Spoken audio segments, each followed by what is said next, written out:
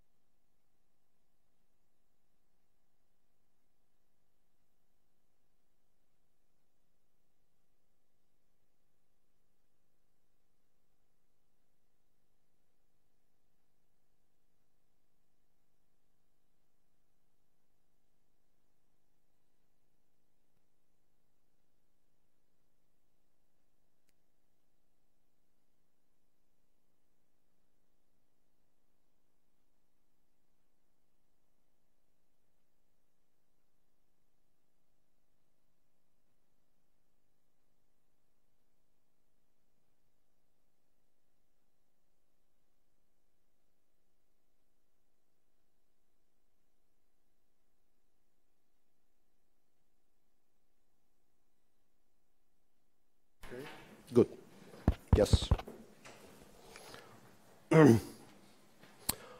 okay, so suppose we have constructed such complete, notice, it's a complete set of states which are eigenvectors of this unitary operator with eigenvalues given by this phase factor here.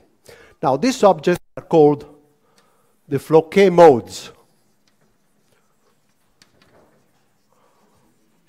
Okay? They are not related to the Hamiltonian, but rather to the evolution operator. And this object here is called the quasi-energy. For obvious reason, in some sense, it is pretty much what the energy would do in a time-independent problem. But now the problem is time-dependent. Hmm? Now, a warning. Epsilon j suffer from a certain kind of indeterminacy, pretty much the same indeterminacy that you have if I tell you that I have a complex number of unit modulus. What is theta? Well, theta is the law, is related to the log of z, but as you know, it's undetermined by an integer multiple of 2 pi. Okay? There is no way that you can tell me which theta. Theta plus 2 pi n is as well as theta. Hmm? Therefore, in some sense, you realize that if I take epsilon j and I substitute with epsilon j plus m h bar omega, omega, I remind you, is the frequency associated to the period, okay, in the standard way. Mm? So suppose that I take these phases that appear there, mm, and I add an integer multiple of h bar omega, what happens to this phase factor? Well, something trivial happens. You see, this transforms into e to the minus i epsilon j plus m h bar omega times t over h bar, okay, which is e to the minus i epsilon j t, the original phase factor, times e to the minus i m h bar goes omega t. Hmm? But omega t is 2 pi, okay? So this is in fact a factor 1. So it doesn't really matter. I could add an integer multiple of h bar omega to my quasi-energies, and the thing should be the same. Hmm? Uh, this uh, brings a little bit of a headache in some sense because it would be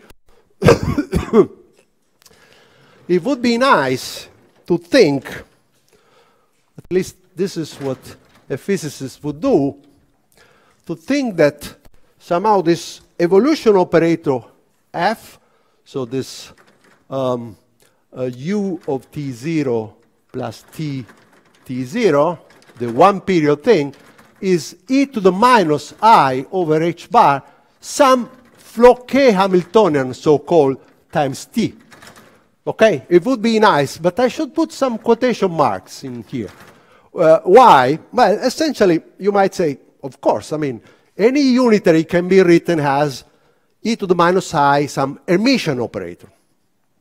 So, in fact, if you read this equation, you realize that I expect that this Hermitian Hamiltonian when acting on ujt0 gives you just epsilon j ujt0. So somehow the Floquet Hamiltonian quotation marks is an Hermitian operator such that the Floquet modes are the eigenvectors of it with eigenvalues epsilon j.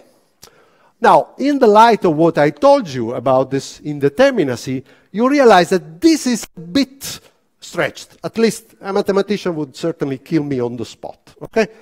And there are several issues related to this. It's not just a question of being, uh, I mean, certainly the eigenvalues are only defined modulo h bar omega. But also, you immediately realize, suppose that I have a Hamiltonian with local operator, okay? And I drive things. Now, the evolution operator over a period might be a very non-local object. Okay, so the log of this object, which is somehow the thing that appears there, is in principle a non-local object. Okay, so it's somehow hard to make sense and, and, and, and think in, in simple terms, okay? Might be very non-local in space in terms of the elementary local objects of your thing. Well, then there is obviously a mathematician close by that might exist. How do you know that this Hermitian operator can be really defined in the thermodynamic limit at such and such? Okay, so can it be really defined? Now, there are subtle mathematical questions related to the spectral representations of these objects, which are somehow trivialized somewhat when your Hilbert space is finite. Think of your favorite lattice model on a finite, okay? Then really the Hamiltonian is an n-dimensional, finite dimensional uh, operator in some complex finite, well, c to the n, okay? So in some sense, at that point, you are dealing with matrices and things become a little bit more mild in, this, in terms of the spectral thing. But if you approach the thermodynamic limit or if your model is on the continuum, things can be a headache, okay? I can anticipate. Okay. yeah. What? Uh, um, not really, but the because I mean, you, if you change t0, you can essentially transform things with a unitary transformation, and the eigenvalues do not depend, but the states do depend. So here, the states do depend on t0. Okay, and in some sense, also here, I should remind of these things by writing that this Hamiltonian is depending on the initial choice, okay? So the energies and the quasi-energies do not, but the states would be unitarily changed, okay? Good. now, all this, all right. Now let me just, let me just uh, uh, finish the proof of the statement B with the following seemingly strange construction. Take u of t t0, okay? The unitary operator for time t0 to time t. And write it in the following way. u of t t0 e to the plus i over h bar, the Floquet Hamiltonian times t minus t0 times e to the minus i h bar, the Floquet Hamiltonian, t minus t0. Okay? I have seemingly done a stupid thing. Plus and minus the same object. But there is a reason for that. The operator that appears here is pretty interesting. Let's call it P T T0. P stands for periodic. Okay? So what I want to show is that this periodic part, which multiplies the other thing is indeed periodic, sorry. I want to show that this is periodic. Now, so let's see. First of all, P of T0, T0, okay? So it would be U of T0, T0 times e to the plus z, e 0, okay? So th this is unitary, unit by, right, it's very simple. But what about P of T0 plus T? Okay, so if I evolve up to a time T, well, then I have U of T0 plus T times T0 times e to the plus I over h bar, the Floquet Hamiltonian times a period T. Okay? But this object is the evolution operator over one period. So it's e to the minus i hf t over h bar. And this is e plus i, the same thing, right? So you would agree with me that this will also be unitary. Unit, sorry, not unit. It's always unitary. But in particular is unit. And by doing one step more, which you will find in the notes, it's very simple, but I have no time to do it. You can prove that pretty in general this is verified. Okay? So if I sum a time t to the final time, it's the same thing as the initial thing. So periodic, as promised. Okay, nice. So the splitting of the evolution operator is uh, useful. First of all, let's do a simpler dynamical exercise. So suppose that I take the initial uj at time t0, the Floquet modes, hmm, and I evolve for n periods, okay? So I want to know the state that I obtain at time t0 plus nt. To do it, I should operate with the evolution operator for an integer number of steps, okay? Which is, if you remember, u of t0 plus t, t0 applied n times. Hmm? But remember that these are eigenstates of this object with eigenvalue equal the phase is written there, okay? So this object here is actually very, very simple. It's e to the minus i, the phase, times nt, the same state. Okay? So, starting from a Floquet mode, I, I apply the evolution for n periods, and I obtain the same mode times a phase. Quite a simple. Uh, now, what about a more general t? So suppose that I now want psi j at a generic time t. What should I do? Apply tt0 to the initial state, right? So I start always from the initial Floquet mode. And I apply, sorry, the notation. Yesterday someone was concerned about the notation. Now, U with the hat is the unitary operator. This is the periodic part of the state, which I call, by the way, U to remind you of the periodic part of Bloch states in solids. But, um, okay. Good. So, now, use this rewriting of the evolution operator. So, is this, this equal to a periodic part, tt0, times e to the minus i, the Hamiltonian, t minus t0. Okay? Applied to uj of t0. All right, but uj of t0 is an eigenstate quotation marks of this object with eigenvalue epsilon j. Okay? Which means that this is nothing but e to the minus i epsilon j, I can substitute the eigenvalue and take it out, t minus t0. And then all I have is the periodic unitary operator applied to uj of t0. Okay? And this object here, I will call uj of t. Okay? It's by definition a state that starts from t0 and evolves in time in a periodic fashion. Okay? Because of this property, hmm, then you have that uh, precisely, uh, precisely this the statement follows.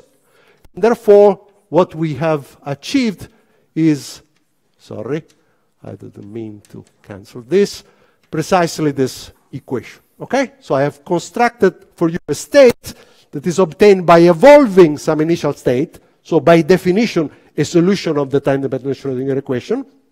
And such a state has the form of a phase factor with a quasi-energy times a periodic state. Is it clear? Okay? It's not really difficult. Um,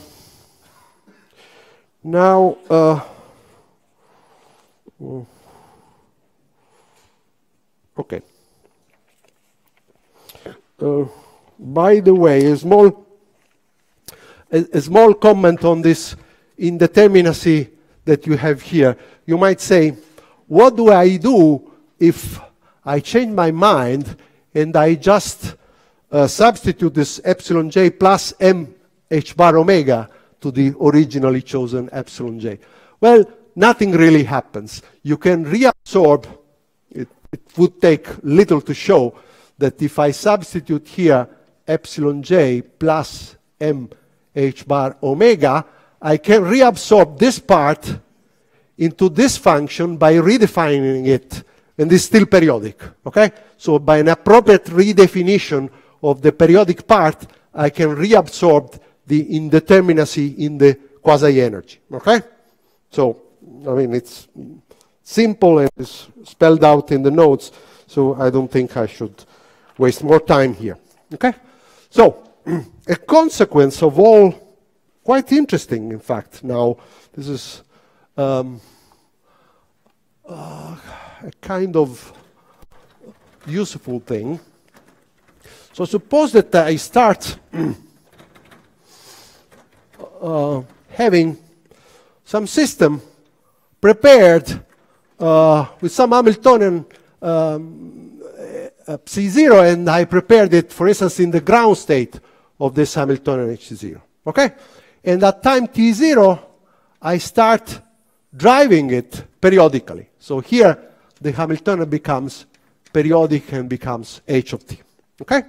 Obviously, since the modes are a complete basis set, I can always re-express the initial state, whatever it is, be it the ground state of the initial Hamiltonian or any state, in fact. I can rewrite it as sum over the modes of uj t0, uj t0. Okay? I have inserted the completeness, identity, hmm, times psi 0. Okay? These coefficients here are just the overlaps, I call it them Cj, the overlap of the initial state on the Floquet modes. Hmm? So I write like this, sum over j, Cj, uj, t0. Okay? So I took my initial state and I expanded it in the basis of the Floquet modes. Now, the evolution comes for free almost. So psi of t, which is the u t t0, the initial state, is equal to the sum over j, cj, the evolution operator, applied to the K mode which I know what it is, hmm? because it's essentially the Floquet states, psi, these are called Floquet states, to distinguish them by, uh, from the modes by the fact that they have a phase and also a periodic uh, part. Okay? So this object here can be rewritten as sum over j, cj, e to the minus i, epsilon j, t minus t0 times uj of t. Okay? This is a remarkable thing. The dynamics of my initial state at any arbitrary time can be decomposed in the following way. Hmm? Now, those of you who are acquainted with quantum quenches will recognize a similarity. Okay? When you do quantum quenches, what you do is that you start from some initial Hamiltonian, some state of the initial Hamiltonian to some final Hamiltonian that is changed is H. Hmm? And to H, you associate states phi j with eigen energies Ej. Okay? And then you would repeat exactly the same exercise that you see there, except that here you would have Ej, and here you would get the time independent eigenstates of the Hamiltonian. Okay? So all it changes is that the phases are governed by the quasi-energies and the states that appear there have a periodic dependence. But the rest is the same. Okay? Now, this opens somehow the uh, road towards towards studying the long-time dynamics of your model. Okay? So suppose that I have some operator that I want to calculate the average of. Sorry. so I want an operator averaged over the time evolved state. Well, in principle, this object here, you see there, I write it as a sum over j of some time-independent constants that depend on the initial states, time e to the, the quasi-energy t minus t0, the uj of t. Okay? You can do the same for the other thing, except that in general I have a sum over j prime. Okay? Different. Now, in principle, you might say, okay, I, I write this thing. You can, you can do it. Okay? Obviously, you will recognize that there are terms with j equal to j prime, which are called the diagonal ensemble. Okay? Somehow the phases cancel from those diagonal uh, j equal to j prime terms. Okay? The remaining uh, um, average that you have is essentially, well, let me write it. The sum over j, the cj modulo square, times ujt o ujt. That's the expression you will get. Okay? So notice no time dependence from here and the mild periodic time dependence from this diagonal expectation value. Okay? So somehow this is periodic. But here there are, in principle, all j different from j prime terms with c star j prime, cj, e to the minus whatever, right? Okay? Epsilon j prime, sorry, j minus j prime. Okay? Let not me write it, because after all, this is the beast, okay? So how do we control what this does hmm? in the long time limit? You might say, hey, but in the long time limit, these things somehow oscillate. T is large, so they oscillate fast, so maybe they go to zero. They could, they could, but it's not obvious at all.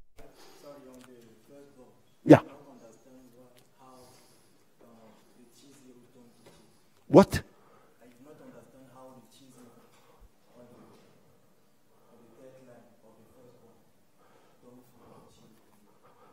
you, you, what? I, I, I missed what, the question. Here? Where?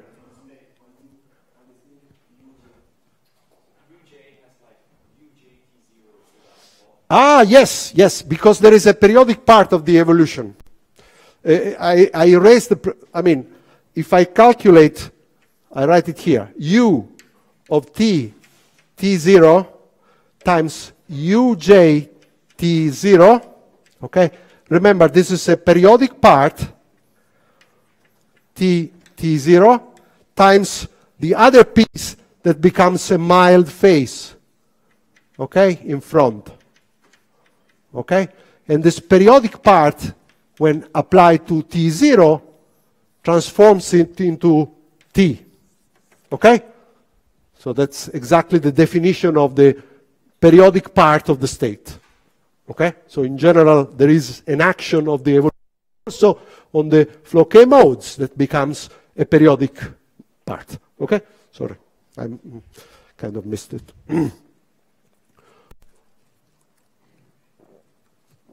Now, at this point, I would write, I would write a, a list of questions, issues, topics.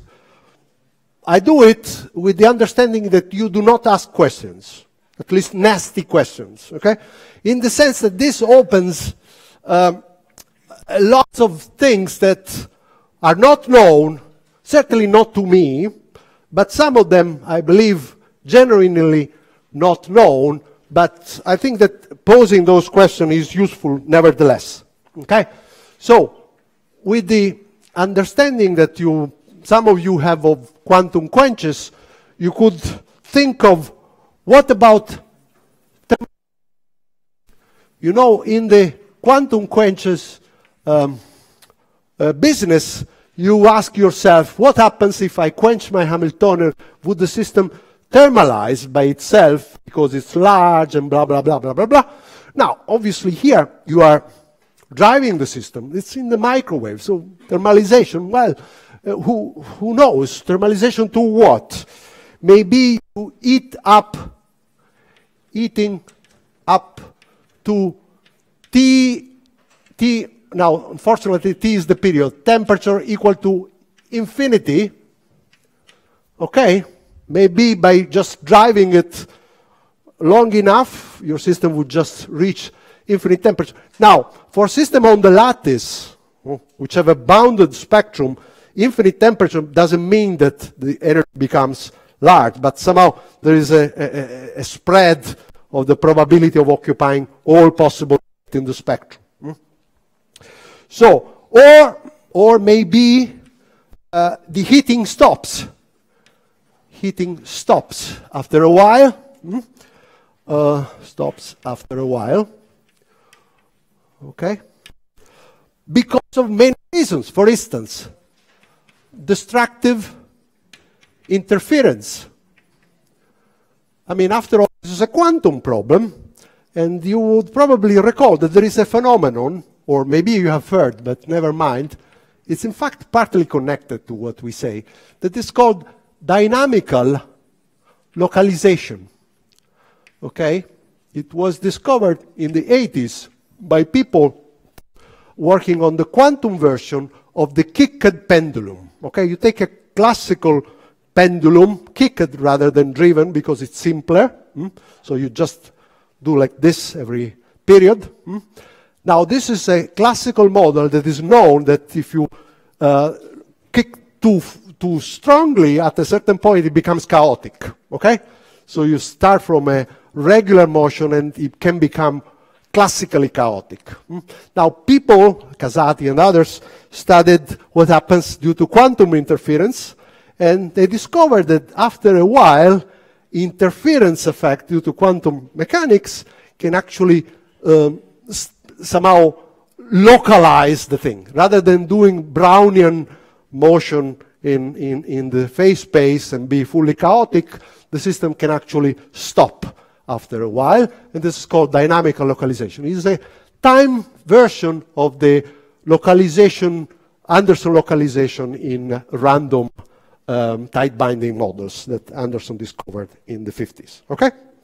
So, in some sense, there could be there could be stopping of eating due to destructive interference. Obviously, the thing is related quantum chaos. And in fact, there is a nice although not very recent review by Casati, Casati, uh, Casati and Molinari, Casati and Molinari. It's a, a, a practical physics supplement of 89. Okay, it's quoted in the literature of the lecture notes. Um, obviously connected to this, so uh, what is the role of disorder? Okay? Uh, slash disorder plus interactions. Okay? Well, as you know, when you have disorder and interaction, interesting things can happen even outside of driving, which is called the, the many body localization. Okay? So the many body interacting analog of the localization phenomena that Anderson discovered in single particle physics, would this be relevant to the long time dynamics of your uh, driven system? Presumably yes, but uh, I mean, it's a, a, an interesting topic of research. And then there is a connected research that is called the time crystals. Okay? Uh, the question would be, can I break spontaneously the discrete time translational symmetry that h of t has? Remember, h is symmetric by translation of one period. Okay? Now, what about the time averages? Okay? What do they do? Well, presumably there will be some transient. Okay? inevitable. But after initial transit, maybe things will just settle down to something. And this something would, might be some periodic steady state, for instance, some diagonal kind of ensemble thing, or something different, okay? So, in principle, might be even, maybe is not periodic, okay? If it is not periodic, somehow you have effectively broken your uh, invariance of the Hamiltonian in the averages. Or maybe eventually becomes periodic after the transient, but with a different period. So the period is different from the driving period t. Can be a multiple of it. A multiple of t. Okay? For instance, 2t. This is called period doubling. Okay? So you drive at period t and your response are at period 2t. Now, in classical physics, period doubling is kind of bread and butter. Okay? So, uh, as a transition to chaos, system start by bifurcating and doing period doubling, and then things become more and more complicated. The name here is Feigenbaum. There is a cascade of bifurcations, and finally you get full uh, classical chaos. Now, people have worked a lot on period doubling in the time crystals, and the issue is, is in the thermodynamic limit a well-defined concept or not, and so on and so forth. So there are lots of things that somehow uh, originate from the long time dynamics of a driven uh, closed quantum system. And, uh, okay. Now, um, one final comment, and then we st stop a little bit. What changes if I have a non-unitary dynamics? Suppose that the dynamics is non-unitary. Now, yesterday we started, in fact, from uh, a classical um, linearized system close to a trajectory. Hmm? Remember the pendula things. And there, the evolution Okay, the evolution is v dot, so this is the deviation from a certain trajectory equal to some Jacobian, which is periodic, applied to v of t. Okay, so it's a set of linear differential equations, n of them. Okay, so a finite space. Hmm? Uh, and then for this, obviously, you can write also the evolution operator, okay? Because the equation is linear, and therefore there must be a linear map that maps the initial value to the value at time t. Hmm? Now, this evolution operator, you can prove, satisfies essentially the whole construction that I have spelled out in the proof. Everything is precisely or almost precisely the same, so there is a crucial role played by this object here, the evolution operator, the classical, say, Lyapunov kind of evolution operator for one period. Mm? Uh, but the point is that somehow you can define the state, the, the, the, the, the eigenstate of it, okay? But in principle, here, since this is not a unitary operator, the eigenvalue that you have here are complex, okay? And because of that, as you proceed applying this object, if some of these numbers are bigger than one in modulus, unfortunately, the evolution blows and your system becomes unstable, okay? So the condition for instability is that there is even one mu j whose modulus is greater than one. Okay, so system is stable only if all its eigenvalues have a modulus less than 1. So inside the unit circle, the, the one in which our quasi-energies were lying. Okay? Second thing, the driven, the driven uh, open quantum system that was on the board at the beginning of the lecture. So suppose that there is some Markovian description in terms of a Lindbladian. So something like rho dot, the density matrix equal to minus i over h bar. This would be the von Neumann unitary part of the evolution. And then there is some, uh, some uh, dissipative part that is, for instance, is, is, technically linear. The form of it, um, you could try to think of it in terms of uh, Lindblad operators, so things like gamma, alpha, um, never mind for the, for the form, okay? It's important that it's linear, okay?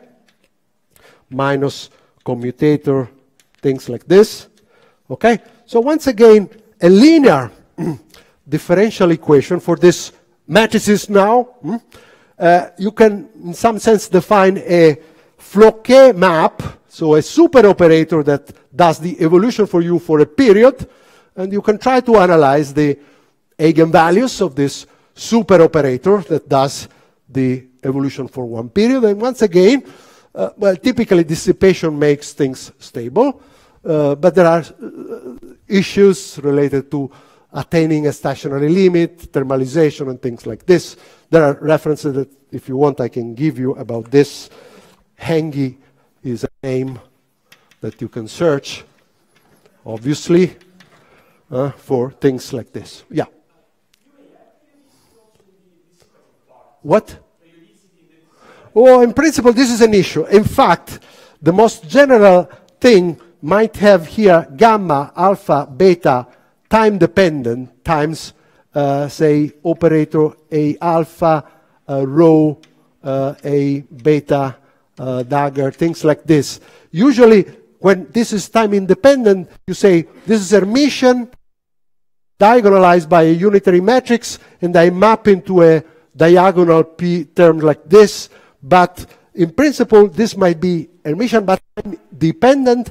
Therefore, there is not a unique change of basis valid for all times that make this for you diagonal. So there are issues, okay? But yeah, okay. There could be um, effects of time dependence in the dissipator as well.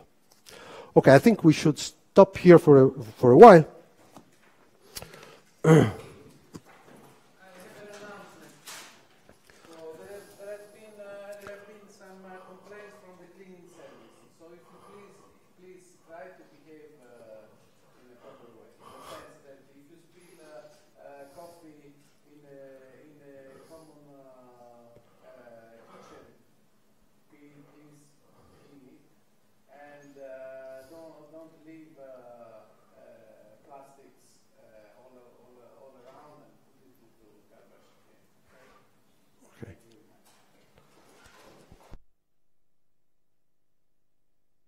Okay, shall we start again?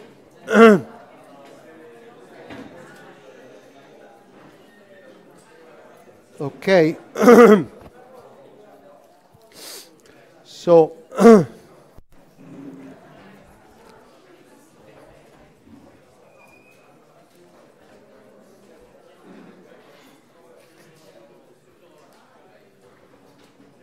um, So after this long, although not difficult, formal um, thing, let's do um, probably the, the simplest and probably instructive exercise that you can do, and is a problem of magnetic spin resonance, okay?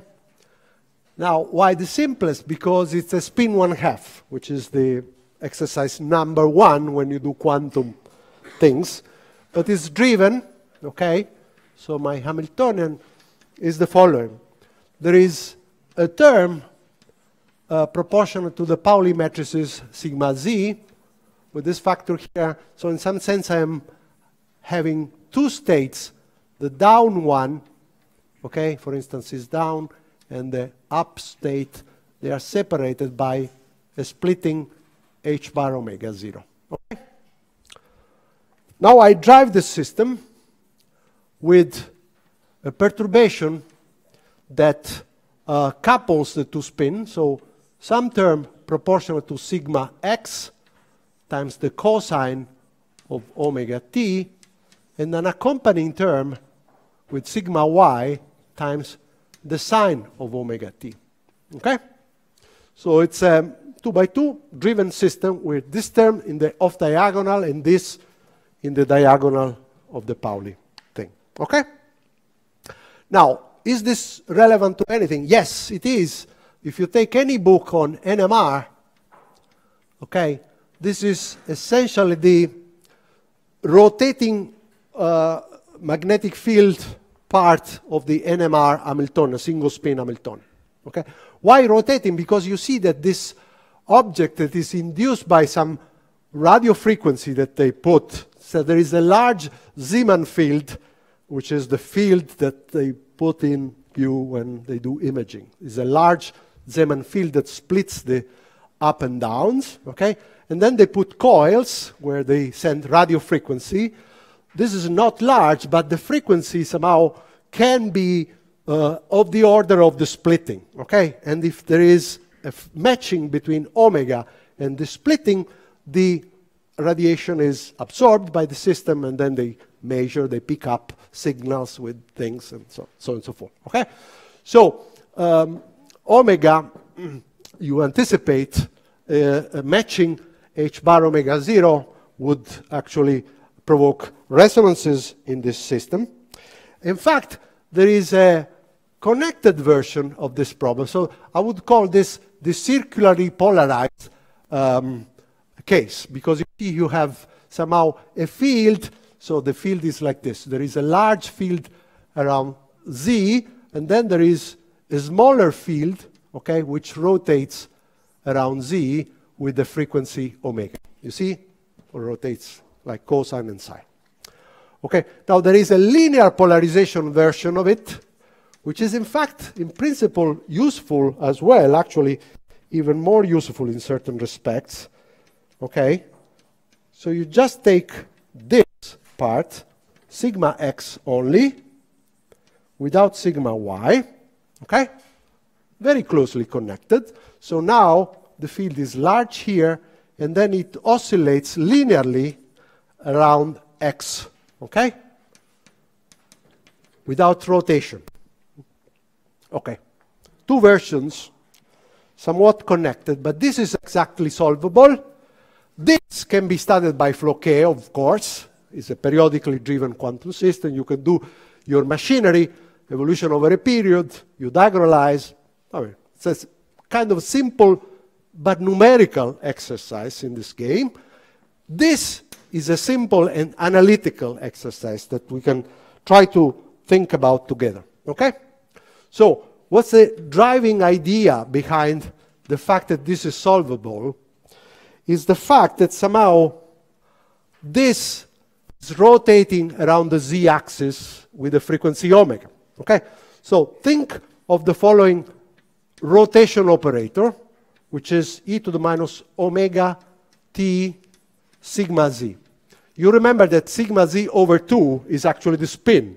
So this is a rotation around the z-axis in spin space with this uh, uh angle omega times t. Okay? And indeed, you can prove that if I apply this operator to the sigma x cosine omega t plus sigma y sine omega t, okay? You can show, you always have to be careful with the sign, but I think that the signs are not wrong here, that this is simply sigma x, okay? So, in some sense, by applying this time-dependent unitary change, so by essentially moving frame that rotates around the z-axis exactly as the field rotates, I, may, I see the fields fixed, okay, around x. Hmm? Now, you might say, wait, this is not a periodic operator, so I cannot use it for the p. Why? Well, because you see that if I take t equal to um, uh, the period t, here I have omega times t, but omega times t is pi, okay? Sorry, omega times t is 2 pi. Huh? But 2 pi divided by 2 is just pi. Okay? So this object, in fact, for t equal, the period is equal to minus the identity. Okay? Very little um, problem because you can actually define, now let me just, an extra phase in front. And here you have a candidate P.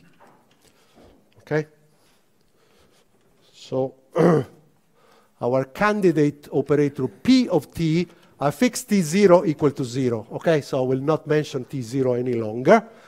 Uh, my candidate P of t is e to the i omega t over 2 times the identity times this r of t, okay, which is the, the e to the minus sigma z that you see there. Okay, so this adds an extra factor minus 1, which makes this object periodic. So P of 0 is the identity, but also P of t is the identity. Okay? Let's see what happens. So, the, uh, as you know, well, if I have a, a time-dependent unitary operator, I can think of changing gauge. We did it uh, in the first lecture in a context where, in principle, things were classical. And I told you, let's eliminate this object with this change of, uh, with this phase factor. Now, suppose that I define now the P of t here in front, and I define the C tilde of t, the state that somehow is related to the time evolving state by this unitary. Hmm? Then you know that the, Sch the Schrödinger equation that this object obeys has an effective Hamiltonian which is the following. P tilde, dagger, the Hamiltonian, times P. But there is an extra term, minus I h bar, P T dagger, P T dot. Okay? If you remember. Very good. Now, what about this? Well, this is simple because Obviously, not only the rotation does that, but the full P does that. Okay? P is essentially a rotation up to an overall phase factor in front. Okay? So nothing really crucial. But when you apply it to sigma z, nothing happens. Okay?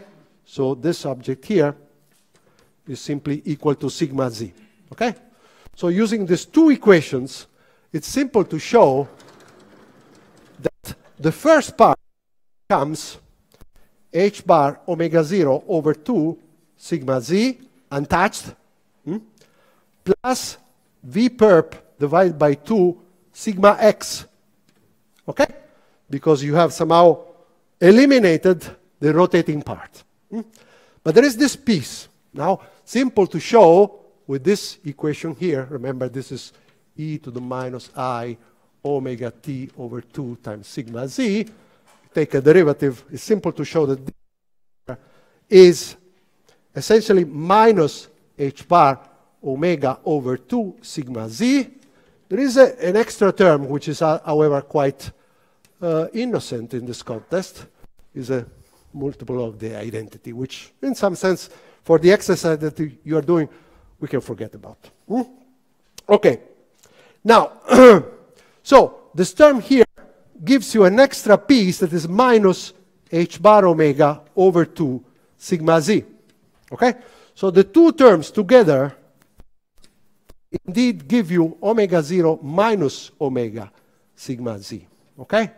So in the rotating field, in the rotating frame, sorry, what you see is a constant term in the x, because you follow it. But the term that you see in the z is not omega 0, but is omega 0 minus omega. After all, you are rotating at the with the frequency omega. So the, the, the, the somehow the, the, effective uh, omega that you see is omega 0 minus the one that you are having, right?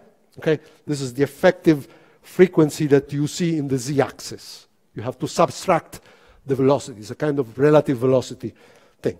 Okay? Good. So this is the transformed Hamiltonian. Notice it is time independent. Okay? And you can prove, it wouldn't take too long, but I don't show it, that is precisely the Floquet Hamiltonian of this problem. Okay? So this is the Floquet Hamiltonian. Obviously, in this two dimension, two, two, two by two ish, uh, thing, there are no issues related to them.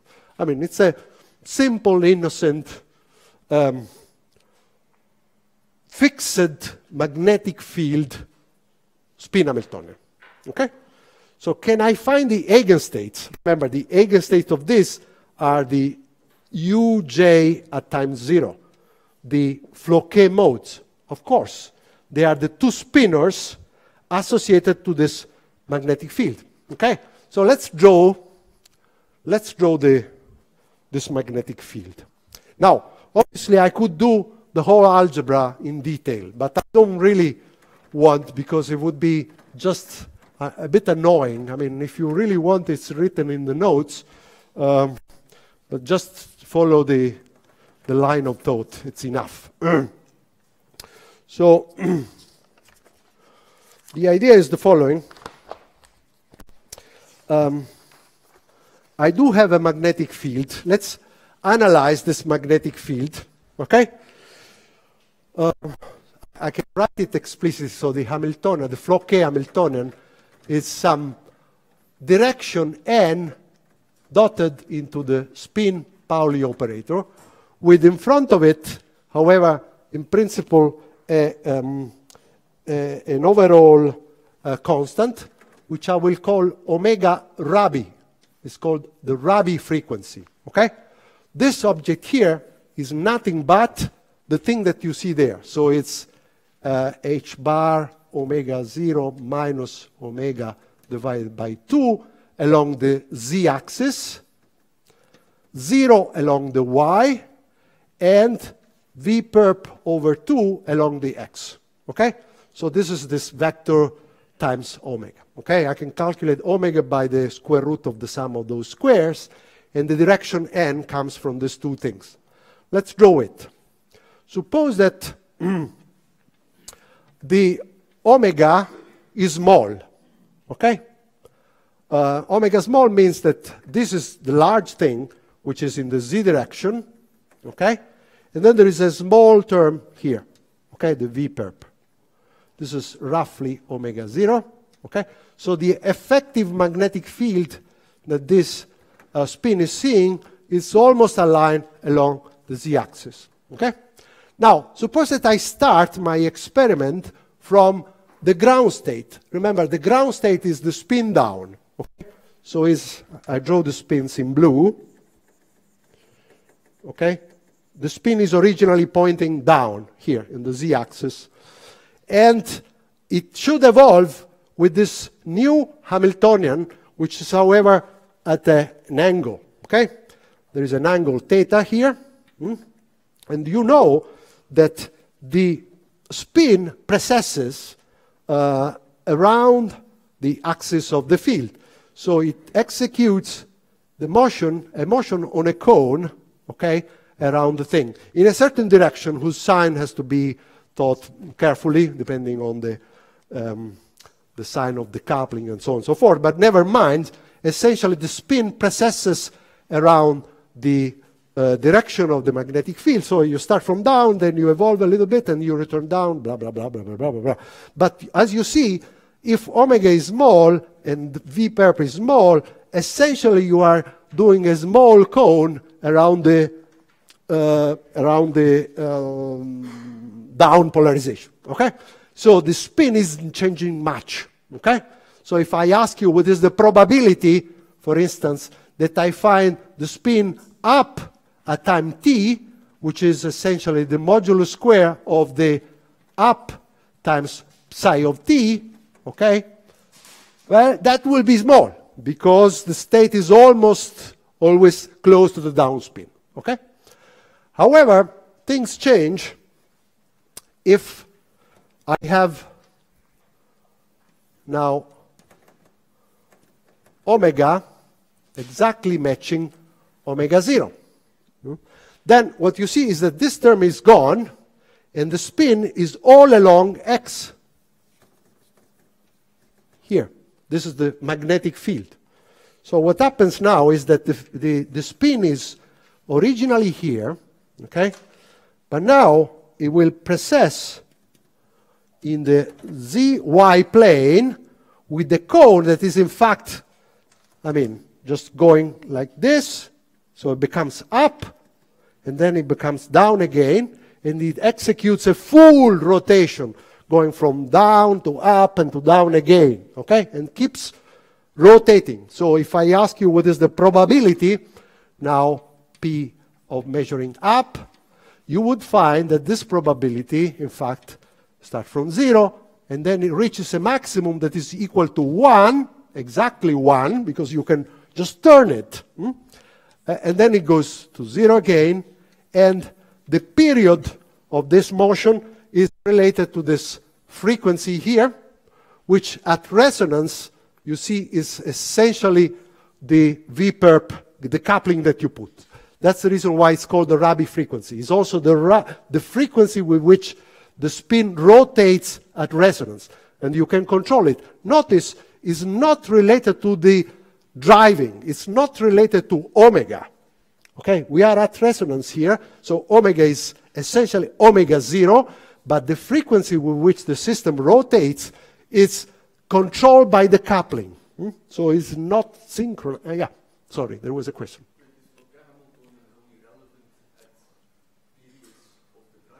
What? No, yeah, of, of course, well, almost. No, uh, almost no. In the sense that you write uh, with these ingredients and with those ingredients, with, you could write this state explicitly and you would verify that what I'm drawing is not, uh, in, I mean, it's very sensible even for intermediate times. So the spin actually processes in the way I've drawn. Okay, so yes, the evolution operator for one period is the one that you have to diagonalize to do this, but this doesn't mean that you have to look at the spin only after one period. Once you have drawn your ingredient. Yes, it does. Yeah. No, no, no, no, no. It's true. It's true. I mean, I skipped the algebra. I skipped the algebra. it's in the notes. It's a few lines, a bit boring. If you want, I can, I can do it, but I don't think there is any. So it's not true only at multiples of period. This is the actual physical uh, dynamics at all times that you can just settle with the periodic part and blah, blah, blah, everything. Hmm? You can write it, and you would notice that at resonance, the probability oscillate from 0 to 1 and to 0 and to 1 with a time essentially that is related to this Rabi frequency here. Okay? Good. So you can exactly solve this problem in all details, everything, and, and you um, notice that there is a phenomenon of resonance. Now, why um, people uh, in NMR study this? Well, first of all, because it's simpler to follow the dynamics of a spin in a rotating frame where the, the, the magnetic field evolves very little. Hmm? If you look in the lab frame, the magnetic field evolves a lot. You have to change back all your spins, and the result is that the dynamics of the spin is very complicated to look at. Here, somehow, it's mildly complicated. It's a precession around a fixed magnetic field. In the lab, it's a mess. It does things like this, okay? So NMR people don't want to really look in the lab frame. They prefer to look in the rotating frame. Now, the rotating frame exactly solves that. But suppose that you have the second problem. What do you do? Well, people do what is called the rotating wave approximation. Okay? The rotating wave approximation roughly works like this. Do the same transformation, exactly the same transformation, P of t, I did to solve exactly the circularly polarized case, do it to the linearly polarized case. Okay? What you do discover following. You do have exactly the same thing I wrote before. So h omega 0 minus omega over 2 sigma z plus v perp over 2 sigma x. Okay?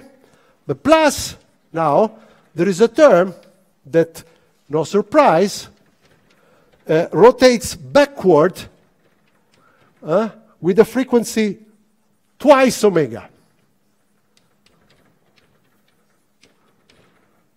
Okay? There is no mystery here, in fact.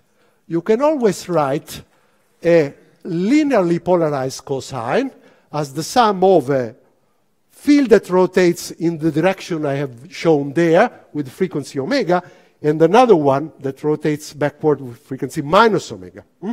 So if you move now with frequency omega, the counter-rotating term rotates backward with frequency 2 omega. Okay? And the answer, the, the understanding is, well, this is a static piece of field. It does its job. This thing is a fast time-dependent thing because 2 omega somehow is fast. I'm at resonance, I do things, and therefore I can approximately neglect it. Okay? This neglecting things is called rotating wave approximation. Okay? Now, this sometimes applies, and in many circumstances perhaps well justified, but I should warn you, okay? If, um, if somehow um, here there is your omega zero, okay? If I am on resonance, all right. Hmm? If I am beyond resonance, so omega is even larger, well, this is even more justified. 2 omega is even faster. So perhaps keeping this is enough. But suppose that I am down here. Who Eh, eh, uh, uh, uh, somehow justifies the fact that there are no subharmonic resonances? Remember in the pendulum that we did yesterday, the approach to the omega equal to zero case was decorated by other resonances, and the resonances were essentially related to the fact that uh, n times the driving frequency was matching something. In the problem of yesterday was twice the natural frequency of the pendulum. Okay? Uh, now, in this case, if omega is small m below the thing, these oscillating things, if it is in resonance, so if there are a multiple, so somehow a multiple of the driving frequency exactly match some Floquet energy differences, then you are in danger. Okay? These are called Floquet resonances. All right? So, to, in order to see it concretely in this example, you do have to do the numerics. Okay? But interestingly, I can guarantee that there will be a decoration of resonances occurring on this problem all the way down to omega equals zero. You can have, they are called n photon resonances. So n times your driving frequency matches some frequency which is of the order of omega zero is in fact a little bit changed because of shifts, Bloch shifts and so on and so forth. So it's not the undriven um, uh, splitting that matters. It's renormalized by the driving itself, but uh, it occurs. So there are resonances that in this problem you will find if you study the actual Floquet dynamics in the uh, non-exactly solvable linearly polarized case. Is, is, it clear? Now, this again requires um, a little bit of an exercise in, so perhaps is the exercise one of a non-fully solvable analytical Floquet problem. Okay? Now, let me just spend the remaining 20 minutes to tell you something which will be useful tomorrow. Okay? Uh, it's again something that starts from some formal part, but then suggests a view of looking at problems, uh, driven problems, that is interesting. Okay. The starting point, again, formally, is the following. You remember, it's written in fact, okay, sorry, it's written here. okay, that these are solution of the time-dependent Schrodinger problem, okay? So if I write i h bar, the derivative with respect to time of such an object, okay? So e to the minus i epsilon j t minus t0, okay? Uh, times u.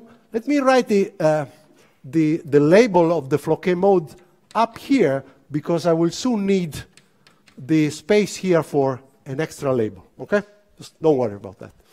Okay, good. So this, okay, in principle is equal to h applied to t times the same object. So e to the minus i epsilon j t minus t0 times uj of t. And remember, this is periodic, okay? Good. So let's apply the derivative. You have to apply it here and here, okay? When you apply here, you bring down this factor, okay? And you get plus, the h bar goes, epsilon j, e to the minus i, epsilon j, okay? t minus t0 times the state. All right? This is the derivative applied there. Then there is an extra term that is i h bar, the derivative, sorry, let me put this out. Okay? And then I have i h bar, the derivative applied inside to the u. Okay? And then I have this term, which obviously you can pull uh, out, out here. So I write it like this. Okay? Times the Hamiltonian uj of t. Okay? Good. Now the phase factor has done its job. Can go away. Okay? Thanks for the service. And I have written a Schrodinger equation for the periodic part. If you have done solid state, you know that you can write a, a, a Schrodinger equation for the periodic part of the Bloch wave function. It's actually useful, but never mind. This is just exactly the same transformation, by the way. Okay, so let's see what is the equation that we have written. I have written the following equation. H, bring this on the other side, minus i h bar, the derivative with respect to time, applied to this periodic state uj of t is equal to epsilon j uj of t. Okay? Formally, it looks like an eigenvalue problem. An operator applied to a state equal to epsilon j applied to the state. Uh, notice this is u of t, not u of t0. Mm? So this object is, has in fact uh, a meaning. It's called uh, K Hamiltonian. So you can do these things and do some formal manipulation in the extended Hilbert space of periodic functions time state. There are a lot of things. Some of them are written in the notes. I don't want to enter because it would be very, very tiring. You can write a TT prime formalism.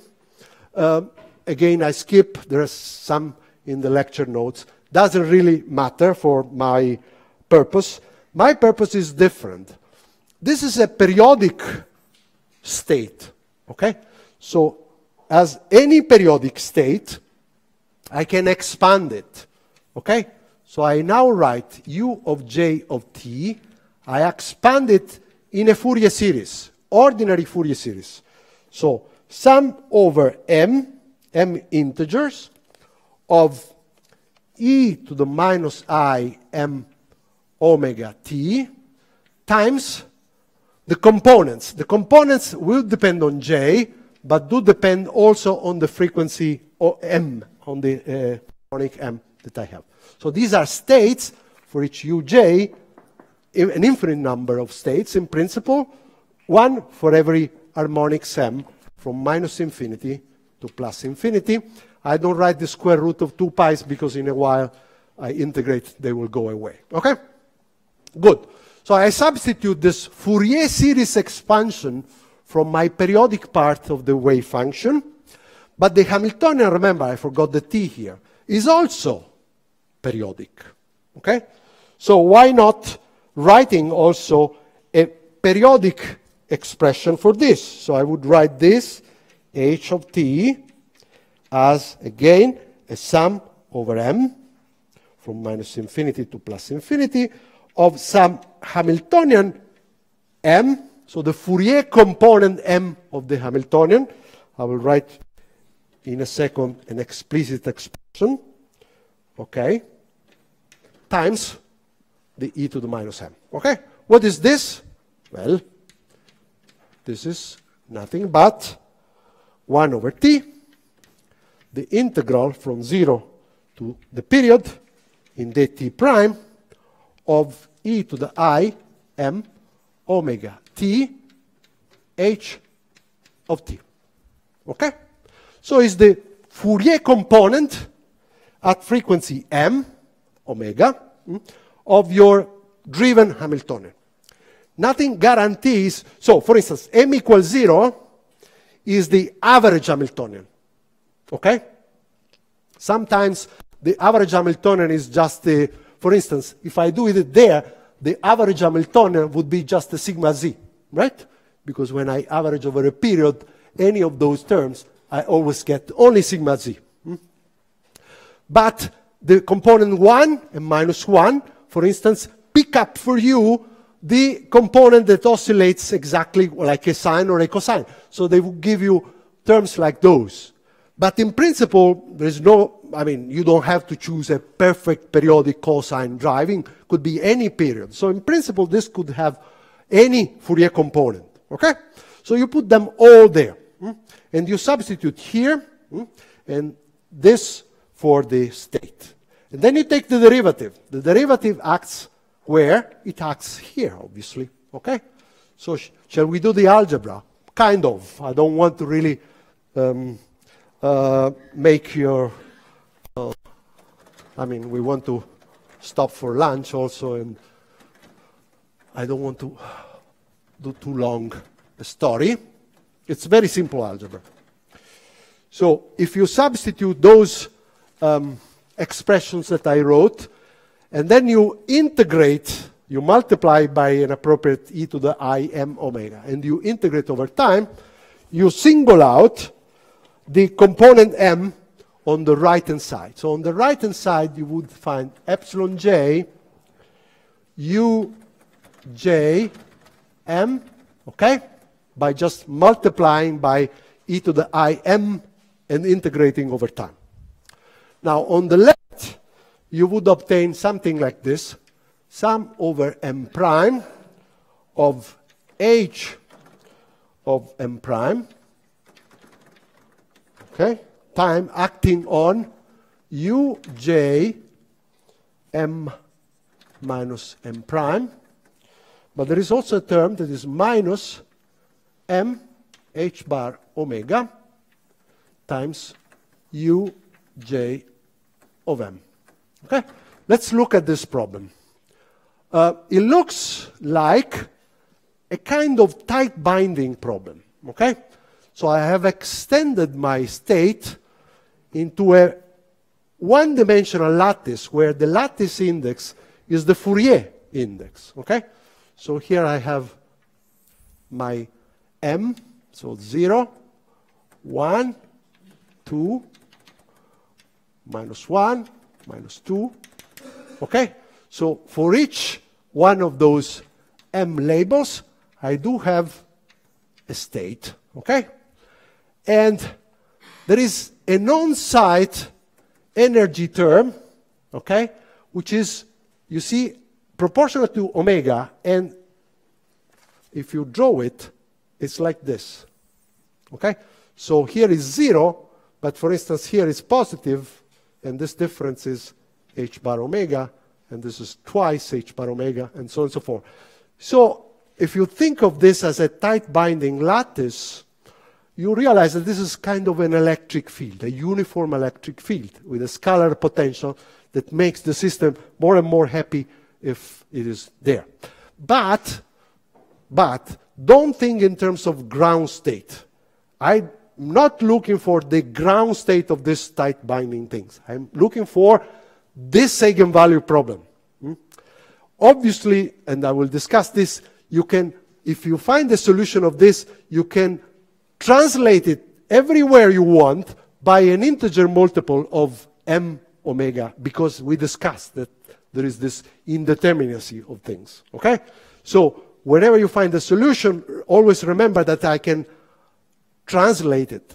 This is the analog of what is called the Wannier-Stark ladder in the problem of a particle in a tight binding potential with an electric field. Okay? So it's a very famous problem. This is almost the same problem. Okay? Almost because, well, it's not a single particle. Here you have a Hilbert space on top of every site. You should think of having a full tower of states. Okay? Because after all, these are the Fourier components of your state in the Hilbert space. So in principle there, well, a tower. For the problem that you have there, only two, in fact. So the tower reduces to two. Hmm? But if you have here, say, an harmonic oscillator, well, there is an infinite sequence. If I have a square well, then there is an infinite sequence with not equidistant thing. If I have a nitrogen atom, I have an infinite sequence of discrete and then a continuum. A nightmare. Hmm? Because of something that I will tell you in a second. Can play a horrible game. Okay, never mind. Let's not run too fast. Hmm?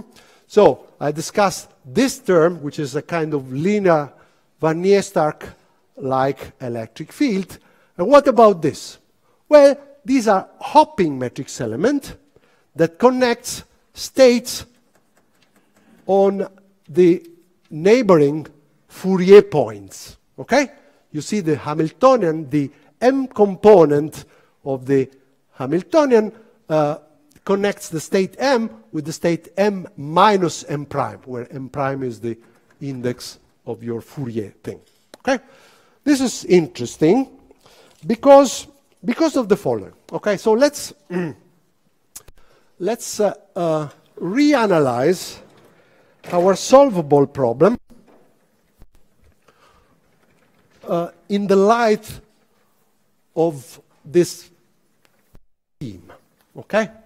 Which tomorrow I will use to discuss other things. For instance, how you get the Haldane topological insulator model by driving a graphene, okay? So we'll see how useful this scheme of thought is to think about uh, how to induce non-trivial topology into things that are trivial if undriven, okay?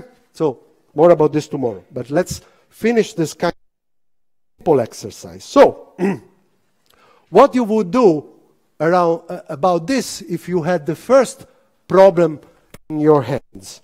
Then you would say, okay, let me calculate this um, HM things. Well, nothing could be simpler. In fact, I can give you the expression. The the circularly polarized case, the HM is the following. So if M is zero, so the average is just sigma z, I told you. So it's h bar omega 0 over 2 times sigma z. Okay? Now, if m equal is equal to minus 1, then you can show that you have V perp over 2 times sigma minus. Okay? It's not difficult. You just have to integrate cosine and sine both with the harmonic, with the minus 1 here, and you will discover that you get sigma minus. And then you get the Hermitian conjugate, which is sigma plus times the delta of m plus 1. Okay?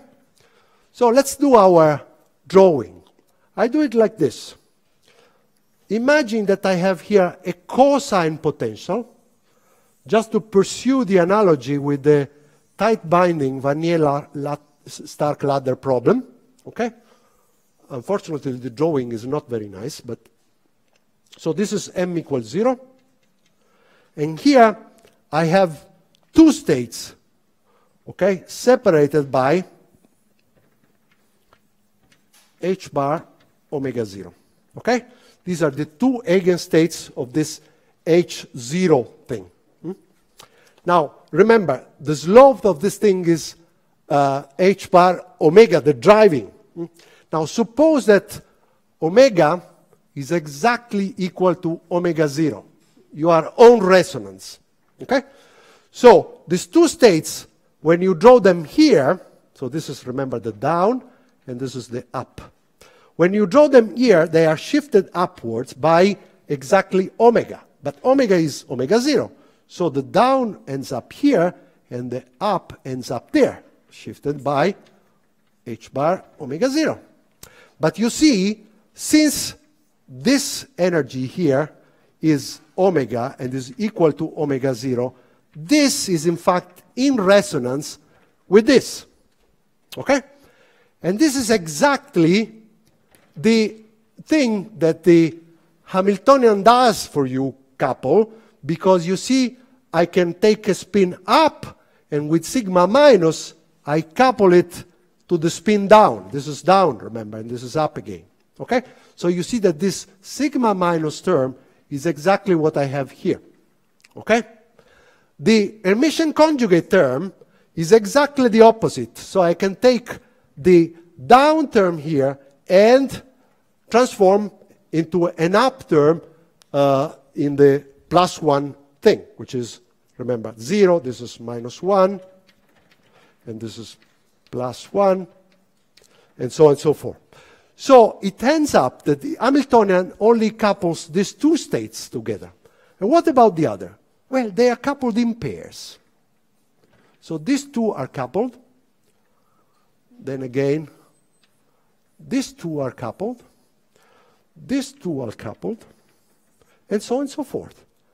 Now, you realize that your tight binding two level problem in an electric field reduces to a system of molecules. Okay? The down and the up at different frequencies, which are in this drawing at different lattice points, coupled together, but they don't care about this other two, this other two. What are they? The repetitions at multiples of uh, the driving frequency, which respects the, remember, the epsilon j, epsilon j plus m h bar omega. So the ladder, the Wannier-Stark ladder, obviously uh, suggests that you can repeat this thing everywhere. It would be totally equivalent. But the message is that I was able to solve everything because in this tight binding thing, the problem was not an infinite lattice, but rather a two by two problem, which I can solve. Now, suppose that I turn on the other piece. Sorry, I mean, I just uh, switch off the sigma y. I take just a linearly polarized thing. Then what is the linearly polarized um, uh, HM? Well, same term. This is exactly the same. Okay? But this changes. Okay? It becomes the following. It becomes V perp over 2 sigma x times the delta of m plus 1 plus the delta of m minus 1. This seems like a minor change because, after all, you still couple um, essentially near, ne nearest neighbor lattice points in Fourier space. But with sigma x, which means that now, I draw it in blue, for instance, I have a coupling between this and, and, and, and, and. So let me just the drawing so that I don't tell you nasty things. So for instance, take this object here and couple to that object. Okay? Down to up. I can do it. Uh, not only, I mean, because sigma x couples me, you might say, but this is not a resonance. In fact, it's has twice omega, okay? But yet, they are coupled. So in some sense, the lattice now becomes a full lattice. So I have a, a true one-dimensional lattice problem to solve, which obviously is not just a simple two by two molecule problem. Okay? Uh, now you might say, okay, good. I now understand that. Well, but now think about, I was discussing the Floquet resonance story before. Now suppose that you make omega smaller than uh, omega 0. Hmm? Then maybe this is omega 0, and this is not on resonance. So here I have, so because omega is less than omega 0. So there is no longer a resonance between these two as here. Okay? But suppose that omega is half omega 0. Okay? Omega is equal to omega 0 half. Okay? Then every two things, these two objects will be in resonance. Okay? You see? And since they are coupled, although to second order, they will see each other. Okay? And this is a resonance. But this is not the only one. Suppose that I have omega, uh, omega 0 divided by n. Okay? Then, to n order in perturbation theory, you will see a distant neighbor. Okay? So this is a small thing. But in principle, if you integrate the thing for an infinite time, this resonance will grow up and in the end will change your state. Okay? So somehow it shows that this decoration that I was talking in the first lecture about the limit going to omega to zero being a delicate thing full of resonance actually emerges from this picture in a quite apparent way. Okay? So going to the limit of omega going to zero somehow eliminates the electric field. It looks like a, a simple extra dimensions that you have given to your system. Okay? If you think of the Fourier space as an extra dimension, this is interesting because people look for artificially increasing the dimension of a quantum problem. Because you know that, for instance, quantum Hall effect four dimension is different than in two dimension. There is a second uh, Chern invariant, for instance. But four dimension is HAP, okay? Usually you have two and three. Mm. In three, there is no Hall effect, because in two, there is the usual one. So it would be nice to artificially increase the dimensionality of a system. Mm. Now, a standard tool is to use internal spin or pseudo spin degrees of freedom of your uh, um, particles in the optical lattice, just to make uh, things uh, clear. Okay, so if you use that label as an extra dimension, hmm, and people here at Lenser uh, have done lots of things in this, you can, in fact, do ladders. In fact, not an infinite dimension, but you can do ladder uh, of objects, and you can induce artificial gauge fields through laser, smart moves, uh, and somehow you have a quasi two-dimensional, uh, non-trivial because of the artificial gauge um, physics. Okay? Now, the frequency is somehow a possible extra dimension. Okay? So if omega is small, this is kind of a zero electric field, and you are approaching omega equal to zero. So why not saying that the single spin one half now is a one-dimensional chain? Well, kind of, okay? You have to watch out for those resonances. How do we actually approach the adiabatic limit, omega going to zero, uh, uh, in this one-dimensional picture? Not trivial, okay? So it's one of the issues behind this increasing dimensionality through this uh, tool. Okay? So tomorrow we will continue the discussion starting essentially from here to point out a few things that people have looked, which I know uh, I mean, I know a few things that I've myself done, a few things that are in the literature.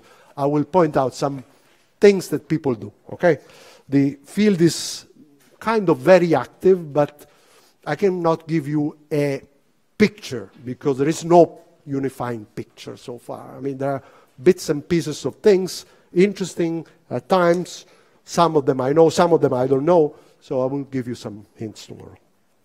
Okay, I think we can stop here today. Mm.